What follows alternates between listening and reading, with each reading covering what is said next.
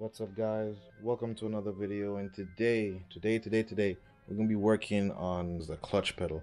So let's get to that. It's really dark in here but I'll I'll do the best I can to make it work for you guys.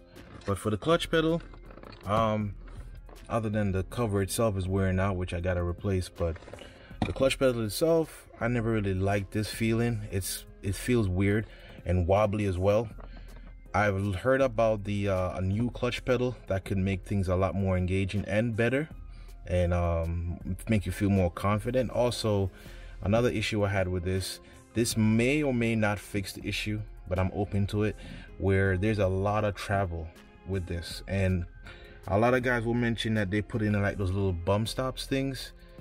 Um, that might work, but for this case, there's already one installed and um, it's still a lot of play. A lot of plays all the way out high up. Um, another thing that I know, another thing I noticed about this clutch pedal is that it's actually higher than the brake pedal. So the brake pedal is right here, and if I go straight across, it's kind of under this clutch pedal.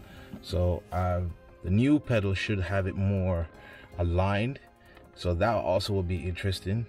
Um, I'm just, I'm really curious of how this might work, how this turn out. But anyways, before I go ahead and talk a whole storm about it, let's get down to it. So before we start, I just want to say thank you so much for your support, guys. I do appreciate it. Don't forget to like and subscribe. Anyways, let's get down to it. So you have some Torx here, one, two, and three. So you need to remove those, all three of them. Um, so it is T20, T20, um, yeah, it's gonna be a T20 to remove all three of those.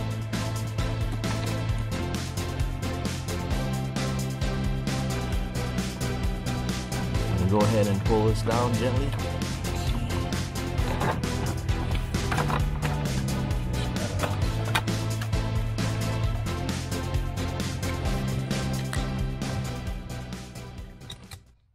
So this is the clutch pedal I mentioned and um, it is super tight in there. So my best bet is that I have to get rid of it, take it out first and then explain my way through. Um, like I said, it's not really that hard but there's a sequence you got to take this off. So for at least what you can see now there's a spring right here. I gotta take that off disconnect that. And then there's like a light duty spring. I'm see my finger. Oh, it's blocking it. That spring right here also got to remove that. This was light duty, so you don't have a big, big deal. Just get like a little pick uh, or something like the hook and just remove it. And then obviously the one for the slave cylinder, that has to be removed. And then last but not least, the last one all the way up top for the pedal. So like I said, it is really tight up there. So I'm not able to really show you a lot of footage. But once I get it out, I can explain and then hopefully that will be help helpful for you guys. All right, so we finally got it out and it's on the table so I can show it to you with more space and light. So hopefully this will help. So the first thing I did, um, I went ahead and get the spring off. So the spring will be here. So I just use a hook, pry this down a little bit, and it comes right out, right? So that's basically it.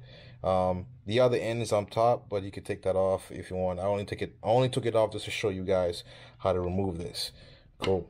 The next one would be here. Um, so this pin keeps this spring in place that connects to uh, not the slave cylinder, but this is just to the to the body of the car, I guess. It have this lock pin that keeps it together. To get this off, there's gonna be like um I forgot the right part. I'll leave it leave the name on the bottom just because I don't remember right now.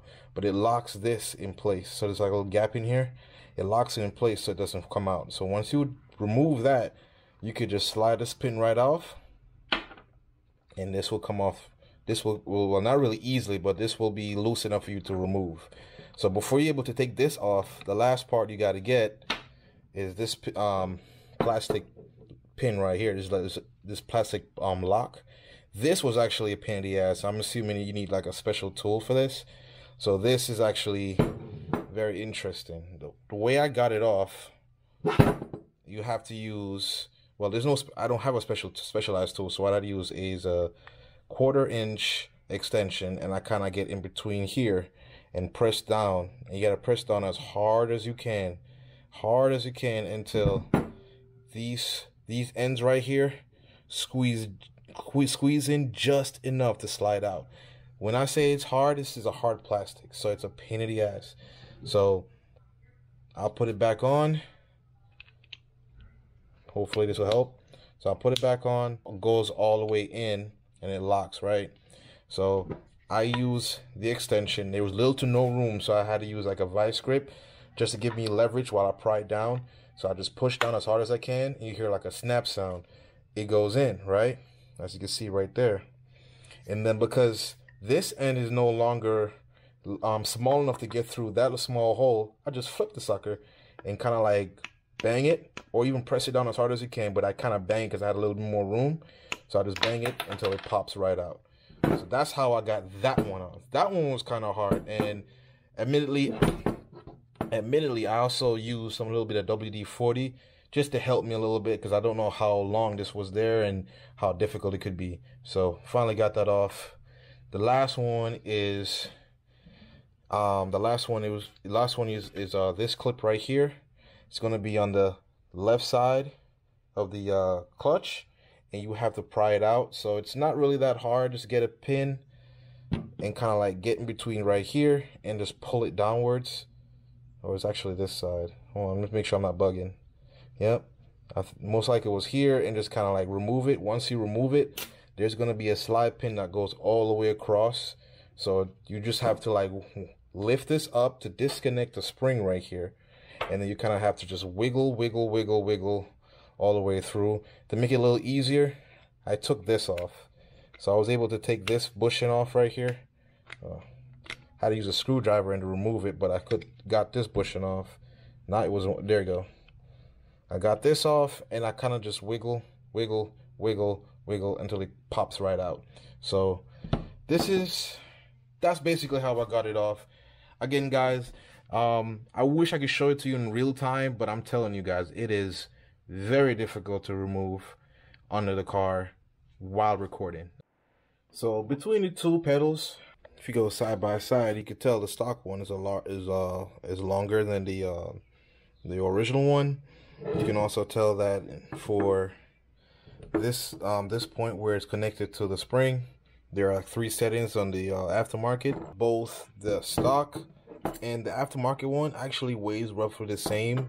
The fact that this is all metal and this is plastic, it's kind of interesting how light this is as well. So that is actually pretty cool. The shape of the aftermarket pedal um, is it's kind of like straightforward, I guess. There's no extra curves. It's just one and two points of, of, of uh, curves. So there's like one here and one down here. So it goes straight down.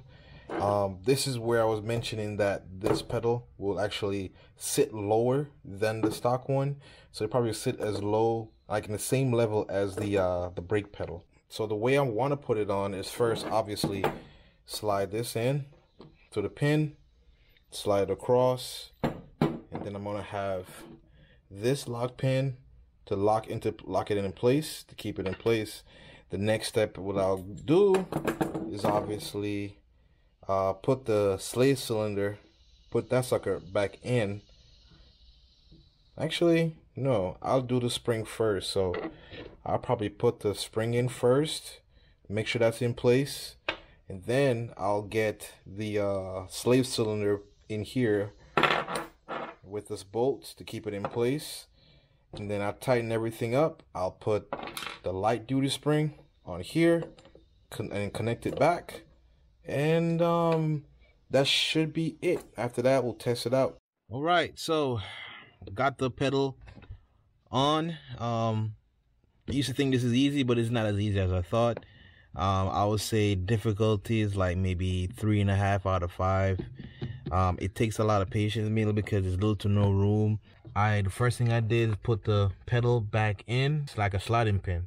So you put that on first and then you have that little clip that I mentioned. You put that in place. Second thing I, I did is I went ahead and connect the spring back here into which um, hole I would like it to be. So it's always it's all the way to the end. So it's in the softest setting. I went ahead and get the last piece which let me see if I can at least show to you. I don't know if you can see it, but that one right there. Put the bolt through and have the nut on the other side behind the spring. And that would be a size 17, I believe. And you tighten that up with the Allen. And then zoom in size 10 on this bolt with uh, Allen bolt. No, size 10 on the nut. And uh, obviously the Allen bolt on the other side. You set that up and you tighten that up. And um, the last but not least is the spring, which is right there. Put that on, and and that's it. There's a dead stop right here. So this one actually came with the car. So someone already in uh, had it in mind dealing with the whole dead pedal situation. So he already had one there. So I'm gonna leave that out. But if you don't, you want to have the one that's given to you with the package with the whole set for the ultimate clutch pedal you want to go ahead and put it in there um, and then when you're done just go ahead and test it out just make sure if it works well you want to push the clutch all the way in. See makes contact. And also go ahead and test to see if you can start the car. If it's too far up then the uh the switch by the clutch pedal won't really activate for it to allow the car to start. Because you need to have the clutch pedal down to start the car and that's pretty much it guys. Um i'm just gonna go ahead and put the cover back put everything nice and neat. Um the next video i will have my honest review on this car on this clutch pedal. My experience is it worth the money? Is it worth the time to go through all this just to have it?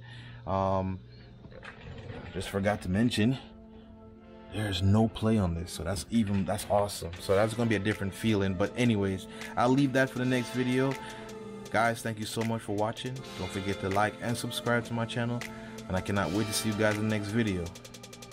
Peace